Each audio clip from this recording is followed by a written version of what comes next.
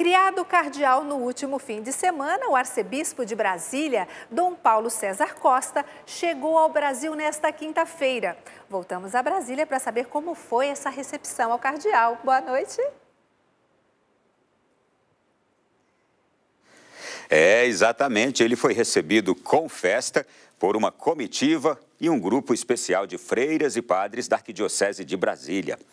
Dom Paulo César é natural de Valença, no Rio de Janeiro, tem 55 anos e é arcebispo de Brasília desde 2020.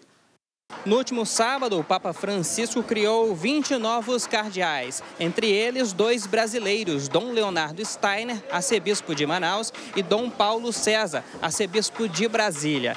O arcebispo de Brasília, agora cardeal, chegou a Brasília hoje pela manhã e falou da emoção de fazer parte do cardinalato. Alegria, emoção.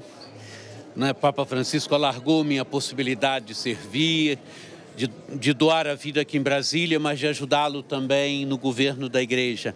Então, fui a Roma, Papa Francisco nos criou cardeal, a mim, juntamente com outros 19, éramos 20 no grupo.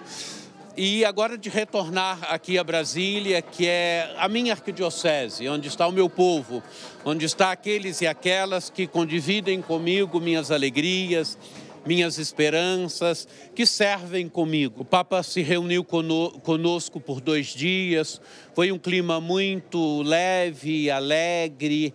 É, discutimos a reforma da Cúria a reforma da Cúria que já foi feita, o Papa já publicou o documento de reforma da Cúria, Predicato e Evangelium, e discutimos, demos algumas indicações para o Papa de como levar adiante a reforma da Cúria, de forma que a Cúria Romana possa ser um instrumento de serviço, de serviço ao Papa, de serviço à Igreja.